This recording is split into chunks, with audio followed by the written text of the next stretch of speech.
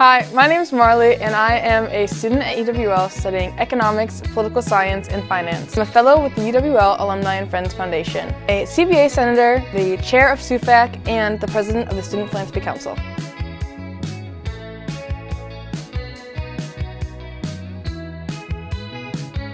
Living Maroon to me means working hard to support the community and the faculty and staff and students who make it such a great place. I've learned how to live Maroon in a lot of ways, but the most impactful has been through my coworkers who work so hard every day to complete the UW experience for students like me. I choose to give Maroon because what it means to me is giving back to people who support me in everything that I do.